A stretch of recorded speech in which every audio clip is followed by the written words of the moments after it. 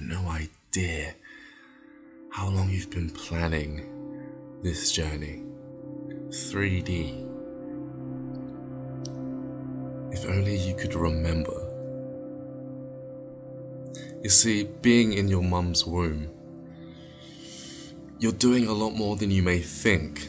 So you're doing a backflip over and over again. Well, because you've got that memory, that muscle memory, that muscle memory then attaches itself to an emotional memory, and that emotional memory attaches itself to its external environment.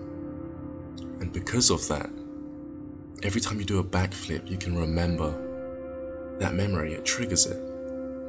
Well, as you're developing in your mum's womb, and I only know this because I managed to trigger my memories, my genetic memory, you're actually thinking differently as to how you're thinking today literally.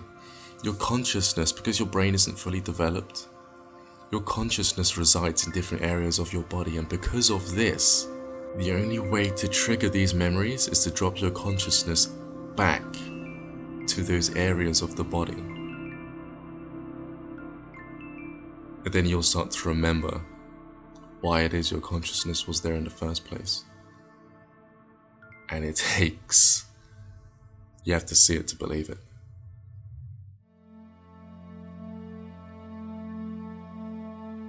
So, this genetic memory, obviously, when you move in a certain position where your muscles can trigger a response, it triggers memory within your nerve cells, which then cause the user of the body to remember an action. And it's the same with the emotional body when it comes to emotions. When you trigger an emotion, it triggers memories that are related towards that emotion that have been triggered. But what I ended up stumbling upon was.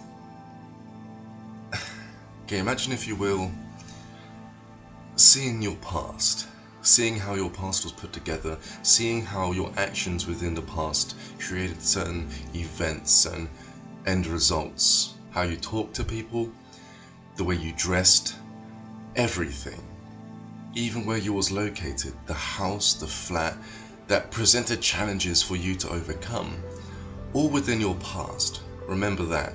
And a lot of you have probably gone through that. Now imagine being in a state where you've never been born before.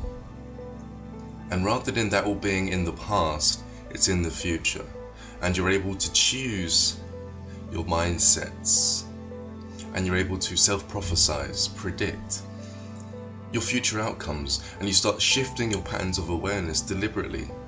And there's a strange magic to this when you're inside your mother's womb, where you're able to tap into that manifestation part of your creator being to the point where you literally manifest and create your circumstances and your events before you even come into this world. I only realize this because I have my memory, my genetic memory, of a time where I dropped my consciousness from this flat up here and I moved downstairs and at first I moved into the throat and I started getting all these memories where I could have spoken my truth but I didn't and my throat locked up. It felt like I had a, an apple in my throat.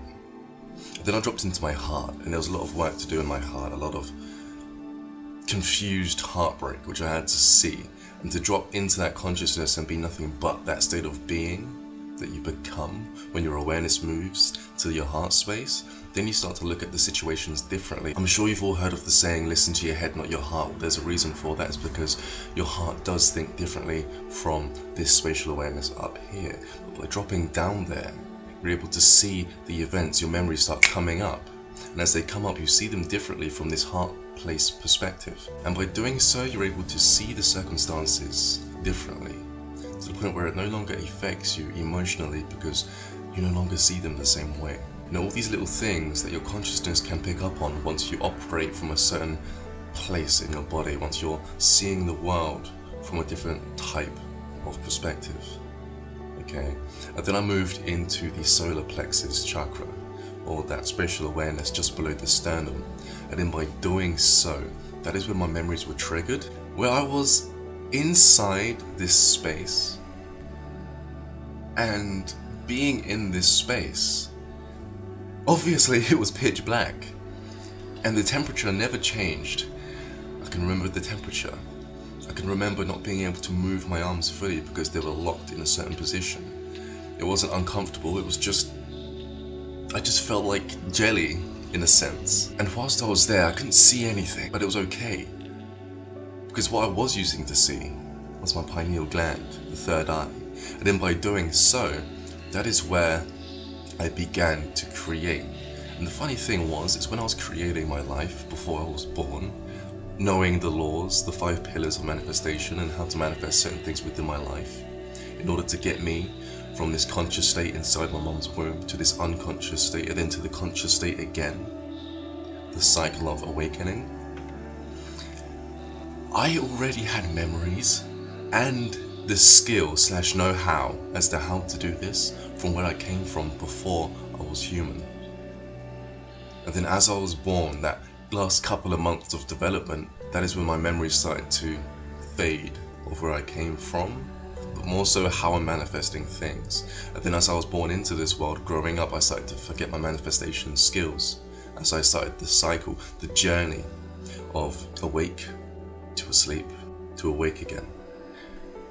But let's get you guys doing it. You know, I could sit here all day and talk about how I'm dropping into my consciousness and activating all these memories and able to manifest on these different levels of consciousness, of planes of existence. You take one plane of manifestation out of the bunch, it takes longer to manifest, if it manifests at all. But let's go through your memories. Okay, so what I want you to do is I want you to sit on your chair chin tucked in a little bit, in a dimly lit room, black room if you can with some candles. Put your hands down on your lap. And I want you to remember, okay? I want you to remember what it's like to speak to someone, but not speak to someone. Wanting to say something, express a certain emotion, but not being able to do it for the simple reason that you're getting choked up, the apple in your throat. We've all been there. Now, whilst you're there, I want you to notice the feelings within that glandular system, within that throat spatial awareness. And I want you to focus on it so much to the point where the memories start flooding back, to the point where it's literally as if you're in those memories back in first person and you can feel the emotion that comes with it and the entire mindset you was in that allowed you to speak and to create that situation of wanting to speak your truth but not doing so. This whole exercise right now is designed in order to get your consciousness from this space up here and moving downstairs into this space. Sit in that space for about 15 to 20 minutes. And then the meditation's done. But as you slowly open your eyes, you have to focus on the feeling and the perception, the awareness that you've gained while sitting in this space. Okay? And then you slowly open your eyes after which, lay down. If you use pillows to fall asleep, take away the pillows just in case you fall asleep. And then what you want to do, you want to use passion. Like when I make these videos, when I'm doing the things that I'm doing towards my goal, okay, towards my life purpose, I always feel an urge, a drive to move in this vehicle and just to act. Okay, now, whenever you've had that drive feeling to do something, really do something with all your will, and right now, as I'm speaking about it, it's like someone's just lit up a furnace right here in my sternum. And it's actually making me want to start creating and doing more, contributing more action towards my life purpose. That drive is coming from the solar plexus chakra. Okay? That feeling needs to engulf your entire body. If you've ever done yoga and you've noticed that when you relax a certain part of your body, the muscles surrounding that part that you just relaxed relax as well. They take on the same form. This is what we're doing here, okay? We're going to activate your solar plexus, okay? That spatial awareness point just below your sternum where that energy is coming from, where that drive is coming from, and it's going to engulf your entire body. So you lay down with no pillows. Then you close your eyes, and I want you to start remembering times where you've had that driving force within your life, that motivation to do something. But then as you start remembering these memories, I want you to pay attention to how your body feels. And when that part of your body starts to light up, when it feels like you can't even lay there anymore because you want to get up and start acting, that is when I want you to drop your consciousness into that space. If the memories come up, let them come up. just make sure that you feel that emotion so much it literally feels as if you're moving from this flat up here and down into the fourth floor.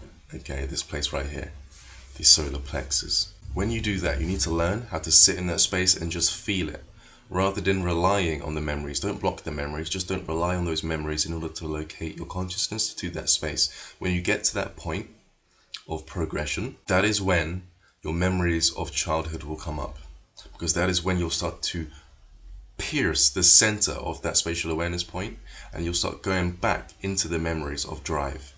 And then you'll start to remember how it is that you started to manifest on this third dimensional realm. And then when you remember that, you can utilize that skill in the now to manifest now. Can you imagine that? Being sat here and seeing something happen in the future, like I'm doing right now. I can see how you're going to respond to this video because I'm tapping into that solar plexus chakra, that spatial awareness point. And it's like a constant preview. I'm constantly able to see events before they happen that are related towards anything that I'm doing within my life, within my journey, my journey. And that is why I can see this trail of events. Okay? So try this out. Do it today if you can. And I'll speak to you guys pretty soon.